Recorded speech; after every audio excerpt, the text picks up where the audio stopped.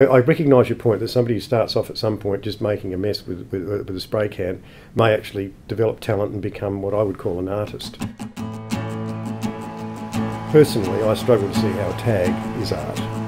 I kind of don't like tagging the really crappy spray graffiti stuff. You got to crawl before you run. You got to start you know, experimenting and doing things, but you can't knock someone for experimenting. You don't get to choose pretty murals and dissuade ugly graffiti. There's way more people that hate it than love it. The only people that like this crap, right, is the people that do it and people without jobs.